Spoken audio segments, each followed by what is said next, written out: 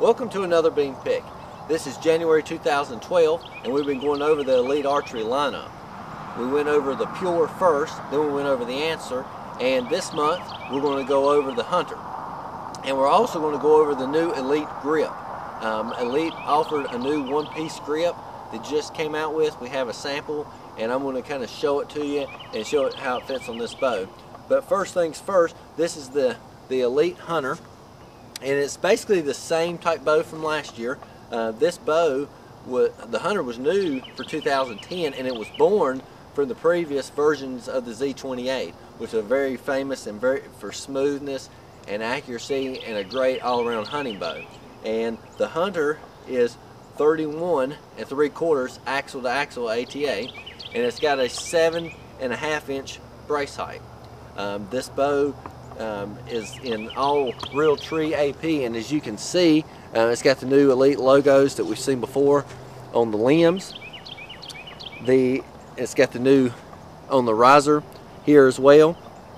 Something new that we've talked about in the other reviews is the the the limb saver string suppressors that they have on here to kind of take down some noise here. Um, we still have the speed nocks that we've seen from Elite in the past.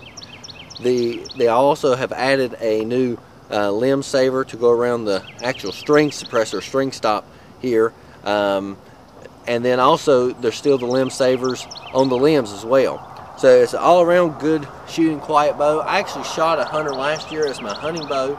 It's very smooth, um, very forgiving and accurate. Now it's not going to be the fastest of the elite bows, but it's going to be one of the smoothest drawings bows and it's going to be very easy to handle and maneuver.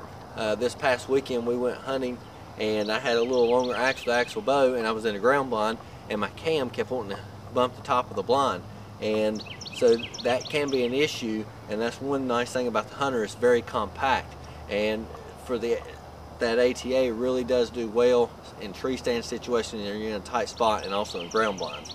Um, but you, once again, you can get all the different finishes. You can do black and Realtree limbs or black and Max 1. Uh, they got the snow limbs. You can do all, you know, Realtree AP like this bow is, along with Max 1 snow camo, and you can do the Ninja. Um, just to show everybody the new grip, this is a Santoprene grip. And that's what it looks like. It's got the little Elite emblem on there. Um, and and basically what it does, it slips right on over the grip that Elite already has um, here. And you can you take the little wood off and place this grip on and it's going to come with uh, a double-sided adhesive um, to make to be create like a more permanent fit. And so that grip is going to fit on there like that. Now I haven't took the wood off but that's kind of how it's going to look. Um, with it on there. But once you take the wood off, it'll fit like it should. But that was just a new thing the Elite's come out with. There's been a lot of people that's been interested in the one-piece grip. And they, some people like the wood and like it just like it is. I personally like it. But there's some people that have a tendency maybe to torque the bow or something like that. Well, with a rubber grip and this one piece and it's a little bit wider, it should take out some of that torque. And this may help with some accuracy if you do have some torquing issues. All right.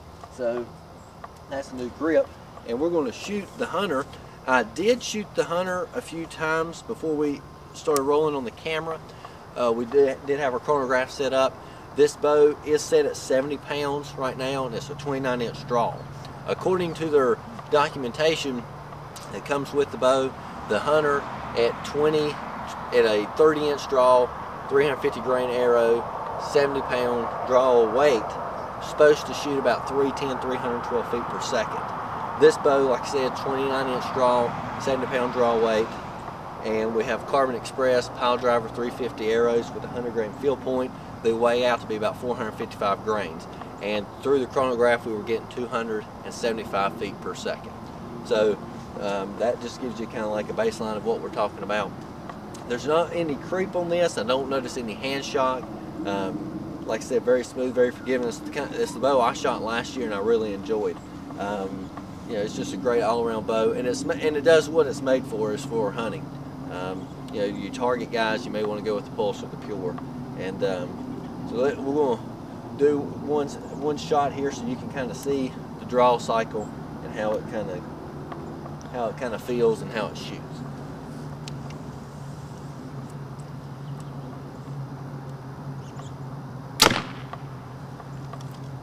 Um, very dead in the hand, no hand shock, very smooth. I'm gonna grab my arrow and shoot it one more time just so everybody can see. Um, but that, I would say this is one of the elite bows that has probably the least amount of hand shock in my opinion. But all of them are dead in the hand, but this one is really, in my opinion, really dead in the hand, I guess as you can say. Um, but very, very smooth draw, um, very easy to shoot.